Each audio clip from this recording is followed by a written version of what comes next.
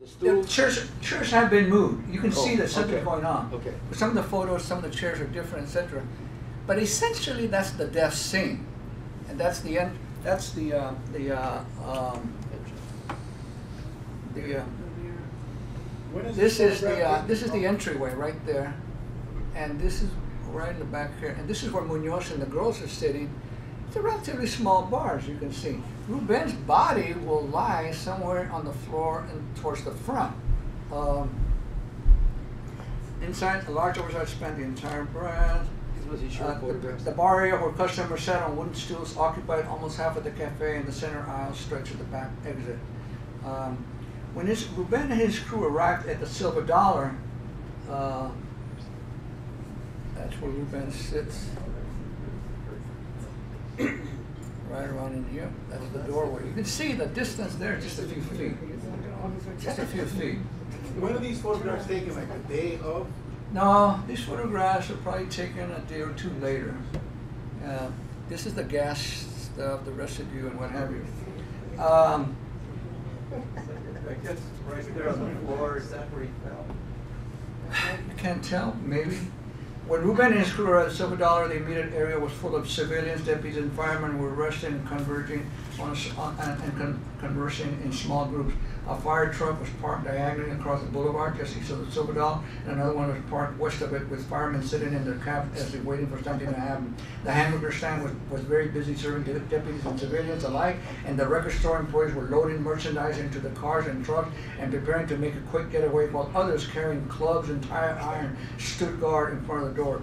Their neighbor, the Bell Plastic Building, was gutted out by a roaring fire just an hour before. Guillermo noticed that a little bar was open and suggested that they have a beer and rest. But Ruben hesitated and replied, Yeah, let's go in. Let's get off of the street. I have to use the restroom anyway. Before he went in, though, he hesitated and nervously looked around several times, and Guillermo asked him, ¿Qué pasa? What's wrong? He ignored him at first, but then blurted, I don't know. I guess I'm afraid. But, but maybe I'm stupid, Guillermo. I think somebody has been following us. Guillermo looked around several times and slowly replied, Yeah, I know. I'm afraid too. Let's go in. Unfortunately, both entered the Silver Dollar while Hector and Gustavo walked to the corner to make a couple of phone calls. The time was now a little bit after 5 p.m., and Ruben would never walk out. As they entered, they hesitated a moment to adjust their eyes to the low lights of the interior of the bar, and Guillermo pointed to a couple of stools immediately to his left and sat down. Amanda came over, and even though she had never seen them before, she knew they were not locals. Guillermo was wearing uh, a tie, and, and he had slick down hair. She knew that he had never been to the bar, but he still looked familiar. Yeah, you see him on TV. Obviously, he was some kind of a professional. Nobody ever wore a tie to the Silver Dollar. The other man was older, heavier, and was wearing a, a, a, light tan shirt and khaki colored dress pants. They must be connected to the protest, probably cops, she thought. As she wiped the bar, she stared at Guillermo. Excuse me, have I ever seen you before? Before Guillermo could answer, Ruben interrupted and asked for a couple of beers and inquired about the restroom. As he walked, he noticed that it was very quiet in the bar. Usually some ranchera was always bearing away, but the jukebox was not playing, and people were sitting in the booth, were huddled together, almost whispering, including two women and a man at the end of the bar. Ruben returned and sat at Guillermo's right. Outside the barn, Manuel Lopez, middle-aged, shirtless, and wearing a red vest like that kind that highway cleanup crews wore, stood in the middle of this intersection, directing traffic, and in halting English yelled and ordered people to get off the street. Jimmy Flores and his friends Nicolas Clemenco and Tony Sanchez, standing across the street by Green's jewelry store, decided to cross diagonally into an easterly direction in the direction of the Silver Dollar.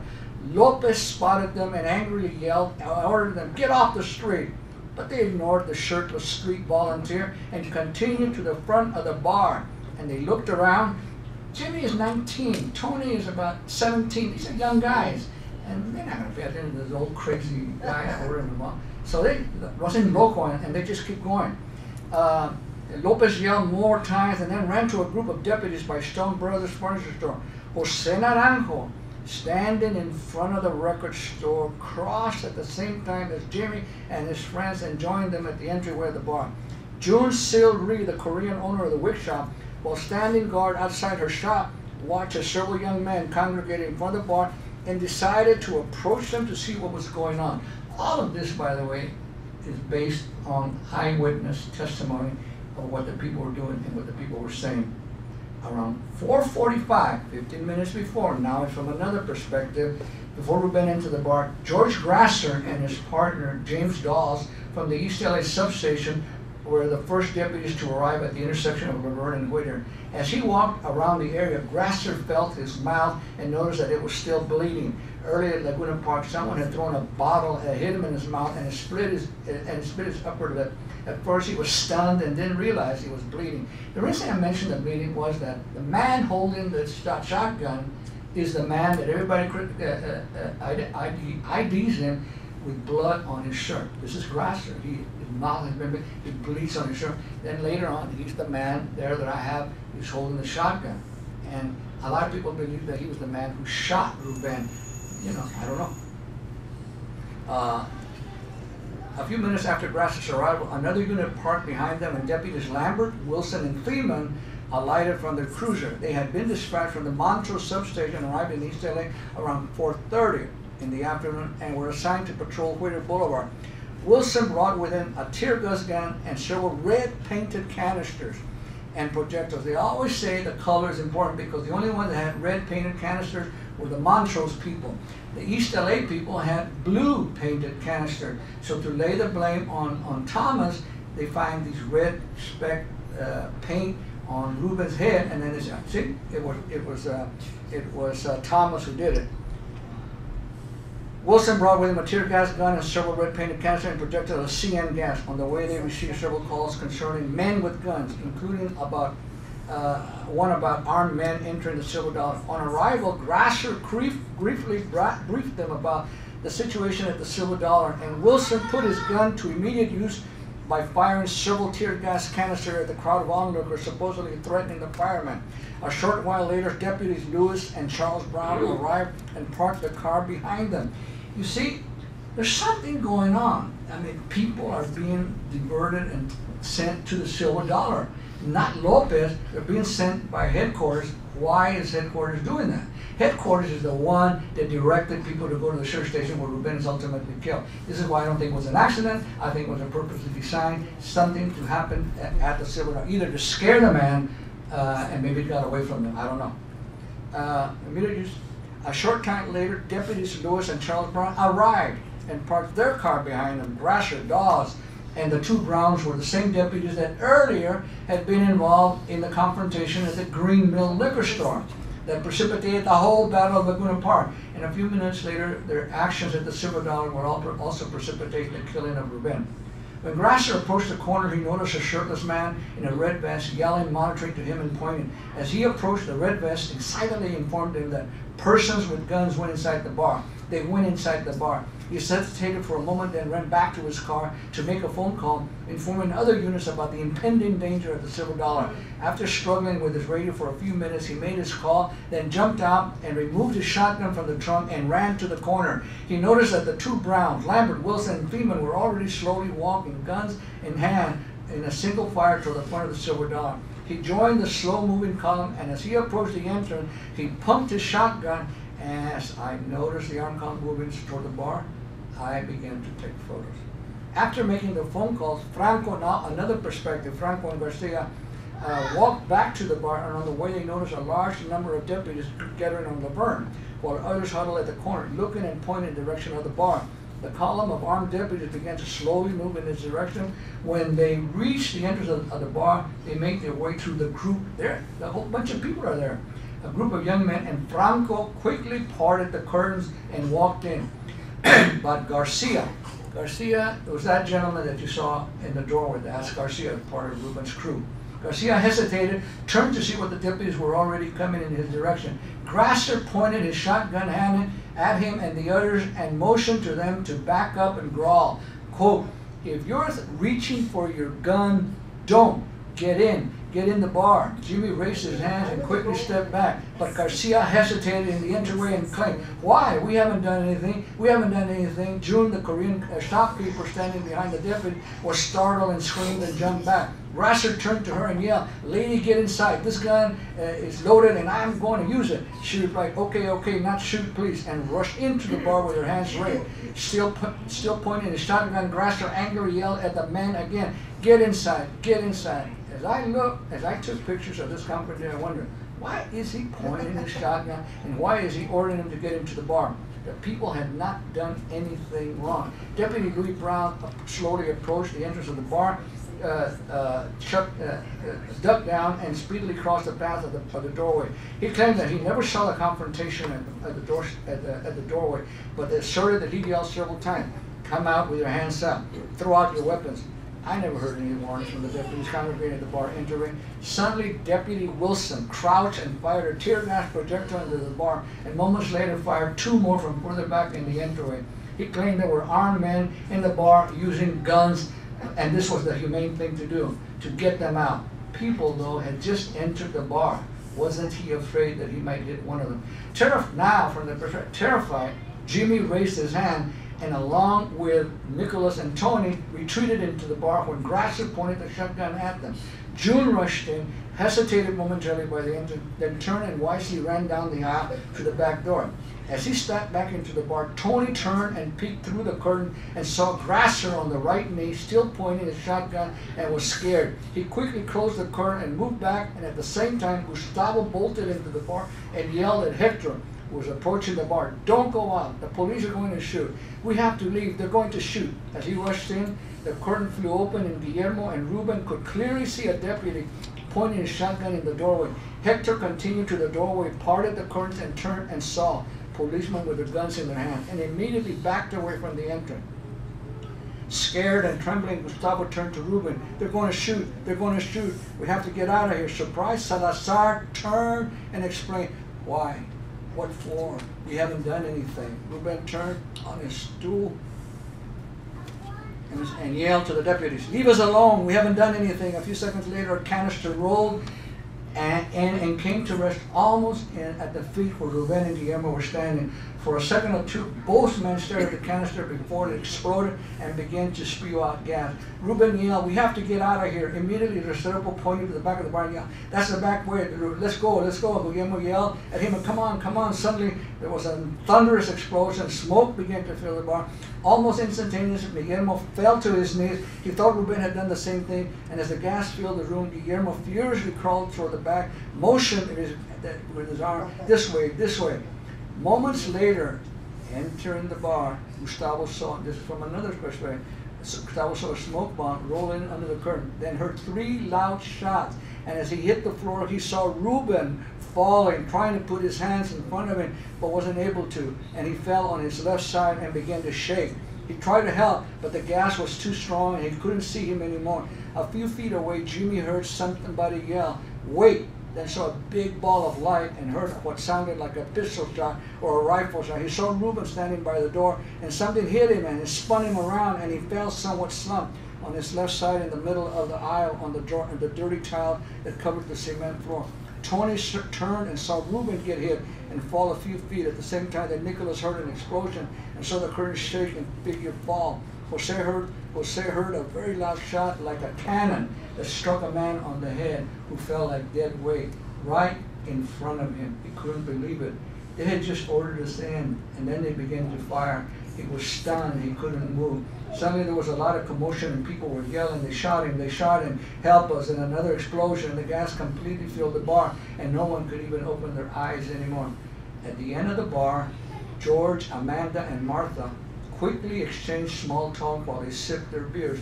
George heard a commotion, looked up, and saw what appeared to be a small cannon being held by a deputy while the curtain was parted by another deputy. Suddenly he heard a loud explosion and saw particles flying off the head of a man who was sitting in the front of the bar. the man grabbed at his head with his left hand and then fell. Stunned momentarily, George yelled at the friend, Let's get out of here, and then ran to the back door as the bar filled with gas. Jimmy yelled at Nicholas and Tony, Follow him, and they stumbled down. Guillermo crawled until he reached the back door and stumbled out, coughing and crying to clear his throat until he was finally able to breathe fresh air. After a few minutes, he regained his composure and turned around and was going to say something to Ruben, but he was not there. He didn't understand. Where is he? He looked around and suddenly Franco ran out of the bar. They killed him. They killed Ruben. They shot him. Mataron. Guillermo yelled, "Shut up! Get out! That's not true. He didn't die. He, didn't. He, he didn't know what to do. He was right behind me. He's alive. He's alive. And donde está? And donde está? He ran to the exit. He tried to re-enter, but the gas was so overpowering that he had to quickly retreat. All he could see were just a few feet into the bar before choking from the gas. He tried again, took a few steps into the bar, but it was no use. He yelled to the bar, Ruan, Ruan, but no one came out. Dios mío, it's true, they killed him. After the shooting, the deputy surprised did not go into the bar, but instead backed up and moved away from the entryway. Suddenly, a squad car quickly drove up, parked in front of the bar. Sergeant Laughlin jumped out, conferred with the deputy, went to the entryway, peeked into the bar. He backed up, motioned to the other deputies, and conferred with them again. Then got back into his car, made a U-turn, parked across the street from the bar next to where I was standing. They got out of the bar, and Laughlin quickly fired three more projectiles into the entryway of the Silver Dollar. The first one missed and it bounced off the wall and gassed the street in front of the bar. People that had gathered to watch the spectacle laughed and made fun of Laughlin. Go ahead and shoot, the only Mexicans in there. They shouted sarcastically. Deputy Sparks crossed behind the light standard and fired his 38 revolver at the, at the open entryway. I still didn't understand why they were shooting that much firepower. As the deputies continued with the street theater, I walked around and took the pictures. I didn't think there was any danger emanating from the bar. After firing two more tear gas projectiles, Laughlin used the PA system in the car and finally announced, you in the, the bar, come out with your hands up. Repeated this warning several more times and I thought, I hope no one comes out. These cops are determined to kill whoever's in there. No one ever came out and at the time I thought that was good. Inexplicably, these deputies, like the others involved in the first shooting, jumped back into the car and drove away. All that was left was the acrid smell of gas, and as I looked at the still smoking and violated little bar, I wondered, what was that all about? Why did they fire? At the back of the bar, Guillermo and his friend walked to the barn where a large number of deputies were congregating and held up the press card. I'm a newsman. My news director, Ruben, was killed. He's inside the barn. One of the deputies angrily approached him and shoved the gun in his face. Get out of here, move on. But I'm a newsman. I'm a newsman. See, this is my press card. Get out of here. I'm not repeating myself. Move closer away. Done moved, Guillermo was stunned. Why doesn't he care? As they as they walked, he approached another deputy and received the same response. Why is this happening? Why don't they want to investigate? He approached the fireman, he listened intently, and then told him he would he would find out, and he walked away and never returned. Guillermo was now more angry than before. He approached a little house on the side street and asked to use the phone. Called the station and informed Daniel Villanueva, the general manager, that had been killed, and the sheriff did not want to do anything. Then he told them to return and immediately made calls to the East Los Angeles Sheriff Station and advised them that one of his men, Ruben Salazar, had been killed in a small bar in Whittier and Laverne. He assured them that they would investigate and call him later. They never did. Two hours after Thomas Wilson shot into the bar, Julian Garcia, a young Chicano who lived in the area, had been walking around the Silver Dollar and wondered why the deputies had been firing the neighbor bar. He walked toward the back of the bar, placed a wet handkerchief over his face, and began to crawl into the bar. From the back door, he thought he could see what appeared to be the body of a man toward the front of the bar, but he couldn't, he wasn't sure. He worried that he would be arrested, so he crawled faster into the bar. There was smoke, a sort of fog that hung over most of the bar, but it stung his eyes, and he was having trouble uh, breathing. His face was hot, and his shirt stuck to his back, and his tears rolled down his cheeks. He finally reached the front of the box, and there he was, Ruben's body. The light was dim, but he could clearly see his face. His eyes were closed, and he was lying on his side. He actually looked quite peaceful, like he was asleep. He didn't have a wound, and there was no blood on his face or anywhere around his body on the floor around him. Julian bent over him and extended his hand and pleaded, Hey man, come on, let's go, get up. We have to we have to get out of here. When he didn't move, he reached over to wake him and he felt his face. It was cold. It suddenly occurred to him, he must be dead. He's dead. He was confused. He had never been close to a dead body, and he certainly had never talked to one. He didn't know what to do, but he bent over again and made the sign of the cross. He was going to try to drag him out, but he began to cough, and his eyes swelled with tears. He covered his mouth and nose with a handkerchief and turned, and this time he didn't crawl. He ran outside the bar. He bent over and tried to cough out the smell of the gas and the death. After arriving at the station, Guillermo and his friend excitedly explained everything that had happened. Then he calmed them and once again called the deputy. My news director Salazar, he was killed in the Silver Dollar. Please investigate. Curiously, he was told no report had ever come about any shooting at the, at the intersection and didn't even have a record of earlier calls. They said they would call in and on the matter, they never did. In the middle of a small bar in East LA, Ruben Salazar lay on the cold hard floor of the Silver Dollar Cafe. He was dying and he was alone and he tried to crawl, but for some reason he couldn't move. He heard his name from a distance, but where was he? Why was his face cold, cold and why couldn't he breathe? He tried to move his arm to touch his face, but he couldn't. He tried to speak, to yell, but nothing came out. He heard his name again, but this time it was much further away. He exhaled rapidly several times. It was getting dark and he was going around in circles. Then suddenly there was a light. He could breathe. It was all right. Uh, it was no longer cold. The sheriff's department promised to inform Sally that her husband had been killed, but they never did. She learned that Ruben had been killed uh, uh, as she watched the 10 o'clock news that night. 40 miles away from the Silver Dollar, Sally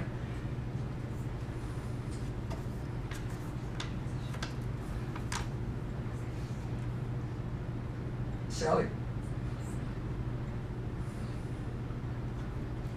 She gathered her three children around cry. Stephanie was seven, and Lisa was eight, and John was five. Two weeks later, at the Dollar, at the Sacred Heart of Paso, Texas, at the Church of the, of the Sacred Paso, Ruben's crying mother, Luz Chavez de Salazar, made the following statements. Rubén lo asesinaron, todo estaba preparado, claro que es difícil probarlo, pero todo tendió a eliminarlo por la, la, la campaña que hacían en beneficio de los mexicoamericanos. Además, a lo dejaron tirado en el bar. Más de siete horas, mientras que se, se, sus compañeros afuera le decían eh, a, todos los, de, de, sostenían con raya de pistola, pese a que los compañeros de Rubén decían los policías, Rubén está dentro, Rubén está dentro.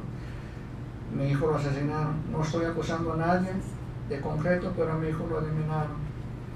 In English, Rubén was assassinated. This is Rubén's mother.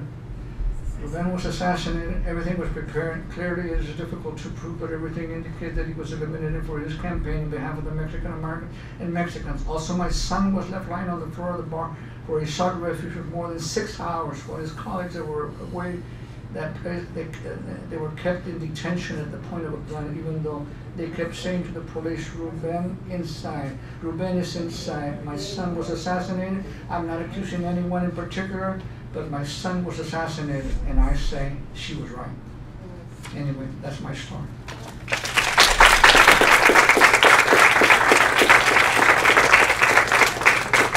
I just want to show just a few of the street. I know you've been here a long time, but just to see, these are fantastic. These are photos that have never been seen before.